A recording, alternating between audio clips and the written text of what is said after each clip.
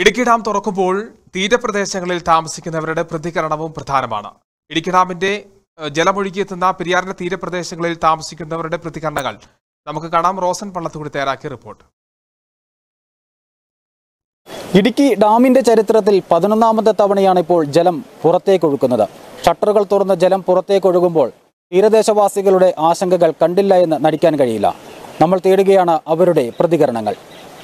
ഇപ്പോൾ രണ്ടായിരത്തി പതിനെട്ടിൽ ഇവിടെയൊക്കെ വെള്ളം കയറിയ സ്ഥലമാണ്. വീട്ടിലൊക്കെ വെള്ളം കയറിയതാണ്. അതിന് ശേഷം രണ്ട് തവണ പിന്നെയും ഡാം തുറന്നു.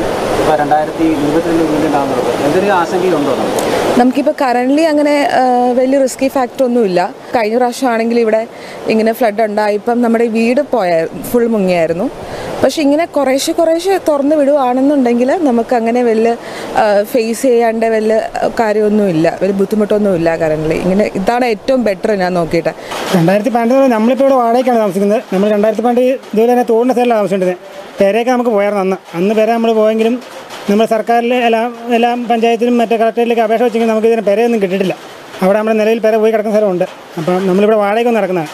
ഇപ്പോൾ രണ്ട് വർഷമായി. അപ്പം നിലവിൽ ഇപ്പോൾ ഇവിടെ നിന്ന് മാറാൻ പറഞ്ഞാൽ നമുക്ക് വേറെ പോകാൻ മാർഗമില്ല മാർഗമില്ല. ഇപ്പോഴും ഉണ്ട് ഈ വെള്ളമെല്ലാം വന്ന് ഞങ്ങളുടെ വീട് മുഴുവൻ മുഴുവൻ പോയി. പകുതി വീണ്ടും കീറി മുഴുവനും നാശം വന്നിരിക്കുക അതൊക്കെ ഞങ്ങൾ കാണിച്ചു കൊടുത്ത. കാണിച്ചു കൊടുത്തിട്ടൊന്നും ആരും അതിന് ഒരു പ്രതികരണം ഉണ്ടായില്ല. ഡാമിൽ ജലത്തിന്റെ പെയ്യുന്ന ഒരു സാഹചര്യമുണ്ട് അപ്പോൾ ഡാം തുറന്നു വിട്ടപ്പോൾ നിങ്ങൾക്ക് മുന്നറിയിപ്പ് നൽകിയോ നിങ്ങൾക്ക് ഒരു ആശങ്ക ഉണ്ടോ ഈ വിഷയം ഇല്ല ഇപ്പോൾ നമുക്ക് രണ്ടായിരത്തി പതിനെട്ടിനെ അനുബന്ധിച്ച് നോക്കുവാണെങ്കിൽ നമുക്ക് ആശങ്കയില്ല. പിന്നെ ഇപ്പോൾ ചെയ്തതെന്ന് പറഞ്ഞു കഴിഞ്ഞാൽ നല്ലൊരു കാര്യം തന്നെയാണ് ചെയ്തേക്കണേ.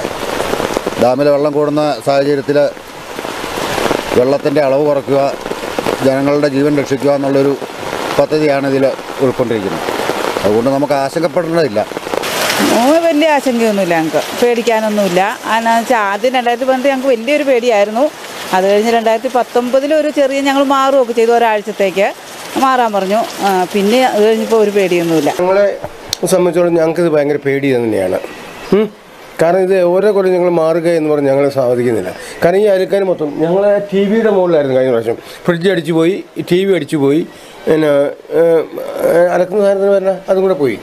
ഇതാണ് സാറേ സത്യം. ഞങ്ങൾക്ക് ആശങ്കയുണ്ട് പേടിയുണ്ട്. ഇവിടുന്ന് ഞങ്ങൾക്ക് ഈ പരിസരത്തു നിന്ന് പോയി വേറെ ഒരു പെരേ സ്ഥലം കിട്ടണം എന്നുള്ള ആഗ്രഹത്തിലാണ് ഞങ്ങൾ ജീവിക്കുന്നത്. ഞങ്ങൾക്ക് എപ്പോഴും ഭീഷണിയാണിത്. അതുകൊണ്ട് എങ്ങനെയെങ്കിലും ഞങ്ങളെ ഒരു രക്ഷപ്പെടുത്താൻ ഒരു കര കയറ്റാനുള്ള സംവിധാനം സർക്കാർ ഞങ്ങൾക്ക് അതിന് പങ്ക് ഇടപെടണം എന്നാണ് ഞങ്ങൾ പറയണത്. തോന്നുന്ന ഈ ഡാം തുറന്നു പറഞ്ഞിട്ട് മഴയും കൂടെ പെയ്യുമ്പോൾ ചെറിയൊരു പേടി ഉണ്ടാവും ഇപ്പോൾ കുറച്ചല്ലേ തുറന്നുള്ളൂ അതുകൊണ്ട് വലിയ പേടിക്കാനില്ല എന്ന് തോന്നുന്നു. ആ ഞങ്ങൾ മൂന്നാൽ പ്രാവശ്യം ഇവിടെ നിന്ന് എല്ലാം മാറി കെട്ടിക്കൊണ്ട് മാറിയതാണ് പോയി പോയി. പിന്നെ വെള്ളം കുറയുമ്പോൾ ഞങ്ങൾ ഇവിടെ വന്ന് താമസിക്കും.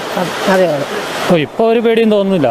കാരണം രണ്ടായിരത്തി പതിനെട്ടെന്ന് പറയുമ്പോൾ ദേ മരത്തിന്റെ മണ്ടേ കൂടെയായിരുന്നു വെള്ളം ഒഴുകിക്കൊണ്ടിരുന്നത്. ഇപ്പം നോക്കിയിട്ട് സാധാരണ കഴിഞ്ഞ മിനിഞ്ഞാന്ന് പെയ്ത മഴയുടെ വെള്ളം ആ ലെവലിലുള്ള വെള്ളമുള്ളൂ. ജില്ലാ ഭരണകൂടം മുന്നറിയിപ്പുകൾ നൽകി കഴിഞ്ഞു എന്ന് തന്നെയാണ് തീരദേശവാസികൾ ഭൂരിഭാഗവും പറയുന്നത്. എന്നാൽ ചിലർ ആശങ്കകളും പങ്കുവെക്കുന്നുണ്ട്. ക്യാമറാമാൻ റെജിക്കൊപ്പം റോസൻ പള്ളത്തുകൂടി ഇടുക്കി വിഷൻ ചെറുതോണി.